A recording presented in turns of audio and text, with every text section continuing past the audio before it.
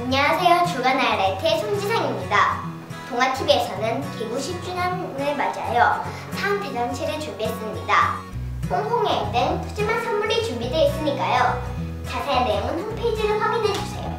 그럼 주간 하이라이트 지금부터 시작하겠습니다. 지상 최대의 로맨스가 지금 눈앞에서 펼쳐집니다.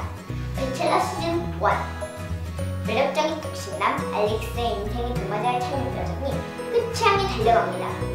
이제 남은 여성은 아만다, 크리스타, 셔넌.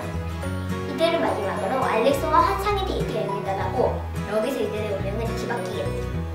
과연 누가 알릭스의 장미를 받게 될지 배첼러에서 확인하시기 바랍니다. 앙드레 김의 환상 무대를 감상하시죠. 개국 10주년 기념 앙드레 김 컬렉션 동아TV 개국 10주년 기념으로 앙드레 김의 패션쇼에 베스트만을 엄선하여 방송됩니다.